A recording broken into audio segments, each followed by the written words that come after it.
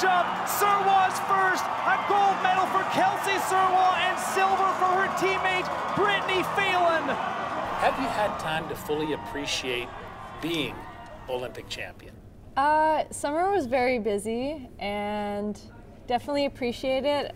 I've watched our final run from time to time, and uh, yeah, it's hard to believe that that's our life, that's our reality, Britt and I. Um, but yeah, something, a moment in time that I'll cherish forever. Britt, you mentioned her and that one-two finish in Pyeongchang. You know, skiing is an individual sport, but you chose to celebrate it as a team thing. Why did you do that, and why was it important to do that? Yeah, I say that not only did we celebrate it as a team thing, but we went in there too as, as teammates and friends.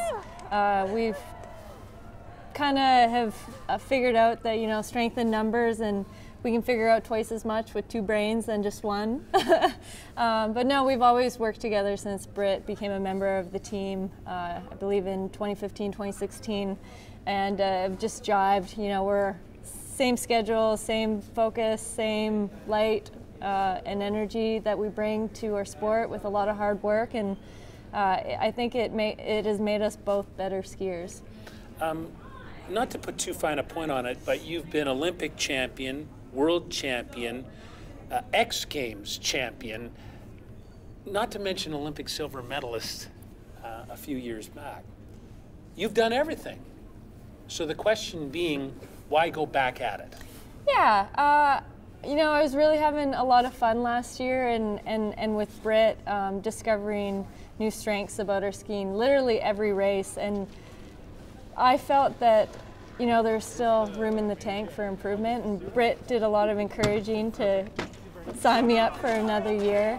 Um, but it's also an opportunity. I mean, I love the sport. Um, and an opportunity for me to maybe give back to the next generation of racers and kind of show them the ropes too. Um, and uh, yeah, I don't know. I don't. It, it, it's a perfect. It's a perfect final year for me. Perfect final year, and that's. I mean, you you put said what I was thinking right there. it, it, will be a final year. You know, three knee surgeries, uh, all kinds of bumps and bruises. Um, as someone who wants to be a physiotherapist, you know the inherent risk of the sport. How do you how do you reconcile that to to keep racing in what is a risky business? Yeah, I uh, you know it's everything worth doing has a little bit of risk to it. Otherwise, life would be pretty boring, right? So, I mean, we do everything that we can to mitigate those risks. Um, but when you're living on the edge and that between like total chaos and total control, like that's when I feel like I'm living the most. Flying through the air next to people, um, rubbing shoulders, you know, testing your limits. That is the coolest place to be, and I hope that I can find something after the sport that gives me those feelings, you know, and um, so yeah, that's what I live for. That's what I strive for. um, so, how important is it to you to be part of this Canadian team, which has been pioneering in ski cross? It it actually has paved the way for so many other nations to be great, mm-hmm. and you're a big part of the story. This is this is Canada's sport in a lot of ways. It is. It's really cool because since the Olympics in 2010, a Canadian woman has taken home Olympic gold. Uh, every time, right? First Ashley McIver, and then Marielle Thompson, and then myself. Um, so we're doing something right in Canada here for sure. And the men's field just as strong. Brady Leman winning gold in in uh, Korea and coming fourth in 2014. You know, and uh, I think one of our strengths as a team is that we do all work together. Um, we watch and ask questions to each other. Uh, we take notes of what other teams are doing, and for sure there's fluctuations, good races, bad races. But I think because there's so much depth in competitors in Canada, um, that the chances of someone getting on the podium keeps our momentum building and, and you know snowballing from event to event. KSUR, uh, the uh, scholarship fund, uh, and your belief that young women need to stay in school, uh, but they also need to balance that life with a life of sport.